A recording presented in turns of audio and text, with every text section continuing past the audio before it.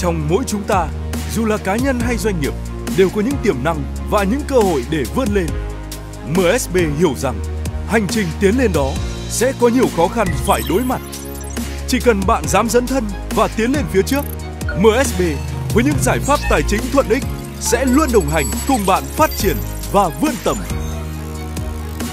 Vươn tầm bởi những giá trị phù hợp cùng bạn. Tại MSB, chúng tôi luôn tôn trọng và lắng nghe khách hàng để thấu hiểu từng nhu cầu riêng biệt. Cùng với tinh thần trách nhiệm cao, MSB chủ động đưa ra những giải pháp đơn giản và hiệu quả nhất, đáp ứng cho từng đối tượng cụ thể.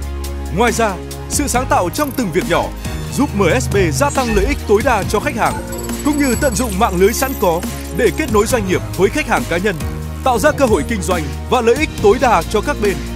Những giá trị này luôn thấm nhuần trong từng hoạt động của gần 7.000 cán bộ nhân viên tại gần 300 chi nhánh, phòng giao dịch và 500 điểm ATM trải dài hơn 50 tỉnh thành trên toàn quốc.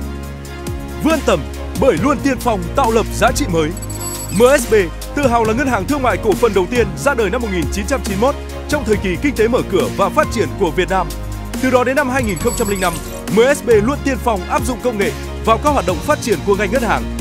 Từ năm 2009 đến năm 2010, MSB xây dựng chiến lược kinh doanh lâu dài, quy mô với sự tư vấn của tổ chức quốc tế McKinsey. Năm 2015, MSB trở thành một trong những ngân hàng thương mại cổ phần hàng đầu Việt Nam về vốn điều lệ và mạng lưới khi sáp nhập ngân hàng thương mại phát triển Mekong và mua lại công ty tài chính cổ phần dệt may Việt Nam. Năm 2018, MSB tiên phong trong việc ứng dụng công nghệ 4.0, trở thành ngân hàng đầu tiên ứng dụng trí tuệ nhân tạo và dữ liệu lớn vào phát hành thẻ tín dụng, đồng thời tích hợp thành công phương thức thanh toán QR code với hai đối tác lớn VNPay và PayU. Tiếp nối tinh thần tiên phong của các thế hệ đi trước, chúng tôi luôn tập trung đầu tư phát triển hệ thống công nghệ nhằm đem lại giá trị thuận ích tối đa cho khách hàng. Vươn tầm bởi định hướng chiến lược rõ ràng. Với tầm nhìn, trở thành ngân hàng ai cũng muốn tham gia và không ai muốn rời bỏ. Năm 2019, MSB đã tạo sự khác biệt rõ ràng trên thị trường bằng nhận diện thương hiệu mới, hiện đại, thân thiện.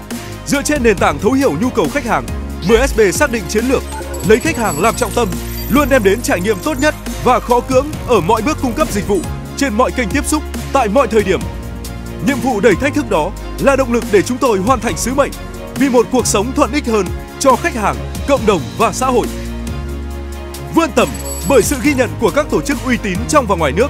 Chúng tôi tự hào khi những nỗ lực ấy đã được ghi nhận bởi các tổ chức uy tín trong và ngoài nước, cũng như sự tin dùng của gần 2 triệu khách hàng và nhiều đối tác quan trọng. Đó chính là nguồn động lực lớn nhất cho chúng tôi tiếp tục chặng đường rộng mở phía trước, cùng khách hàng và đối tác vươn tầm.